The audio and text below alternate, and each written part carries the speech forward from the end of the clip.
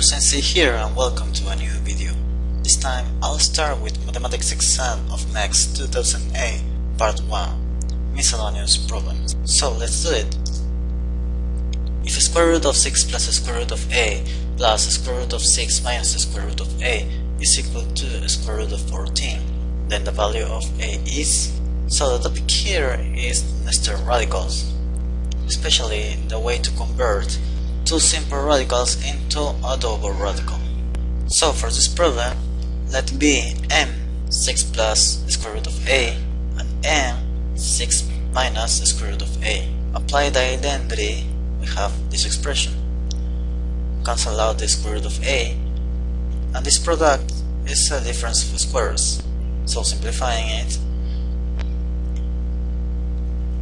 cancel out the square roots, and we get a simple equation, which the value of a is 35. Next problem. The remainder of the division of x cubed by x squared minus x plus 1 is, and that of x to the 2007 power by x squared minus x plus 1 is, so the topic here is the polynomial remainder theorem. Every division has this composition. Dividend equal to divisor times quotient plus remainder. So x cubed is equal to x squared minus x plus 1 multiplied by the quotient and a remainder. The polynomial remainder theorem eh, makes the divisor equal to 0 and find a rational x which replacing this expression gives only the remainder. So here x squared minus x plus 1 is equal to 0 but since this expression has no rational value for x equal to 0 we can multiply both sides by x plus 1.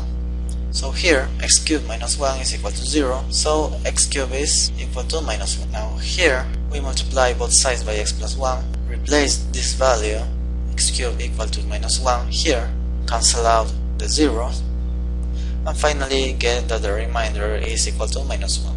For x to the 2007 power, we must do the same steps.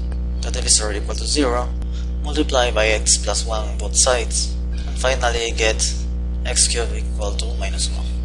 But here we have x to the 2007 power. So 2007 is equal to 3 times 669. x cubed is equal to minus 1. To the odd number is still minus 1. Now we multiply here by x plus 1. Now replace these values, cancel out the zeros, and finally we get that the remainder is minus 1. So remainder are minus 1 and minus 1. Next problem. The solution of the inequality logarithm in base 2 of x plus 1 is less than or equal to 3. So the topic here is logarithmic function. We rewrite the problem here and we should remember that the domain of logarithmic function is greater than 0. So x plus 1 is greater than 0. Finally x is greater than minus 1.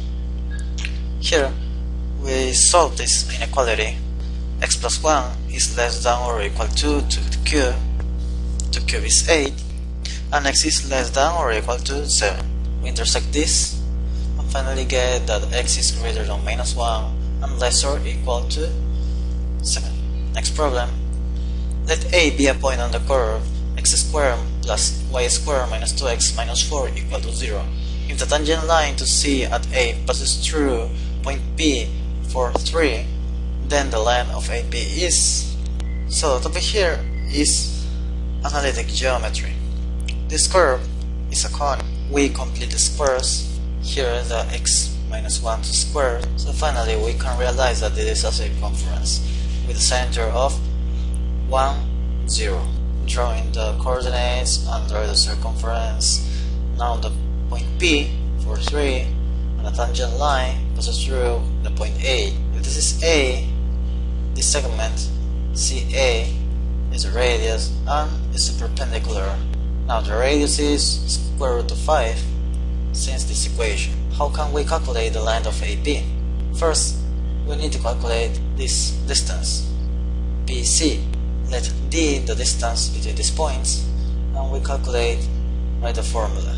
The distance square is equal to 4 minus 1 to the square plus 3 minus 0 squared. So the square is equal to 18. Now, the triangle ABC we apply the Pythagorean theorem. So p squared plus square root of 5 squared is equal to d squared. So finally we get ap is equal to square root of 13. Next problem. Let x and y be two natural numbers such that x is less than y, x plus y is 96, and the greatest common divisor of x and y is 16. Then the values of x and y is so the topic here is the greatest common divisor. If the GCD of x and y is 16, we can rewrite x and y as 16a and 16b, respectively, where a and b are coprimes, or in other words, their GCD is 1.